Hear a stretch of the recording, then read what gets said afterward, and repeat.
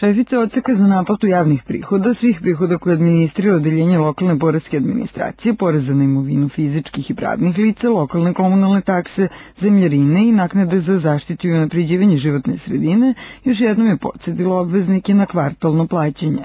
Prve ovogodišnje obaveze dospevaju 15. februara. Evo obraćam se ponovo poreskim obveznicima da ih podsjetim da je kvartal 15.2. i da treba da uplaćuju svoje obaveze da ne bi bila zaračunata kamata.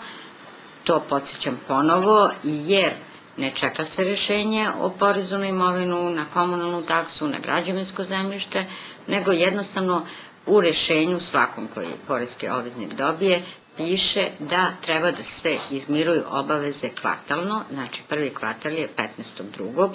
i već 15.2. na njihovim računima biće obračunata znači akontacija i na tu akontaciju ako ne uplate do 15.2. ide a, zakonska kamata koja je predviđena zakonom o porezu na imovinu.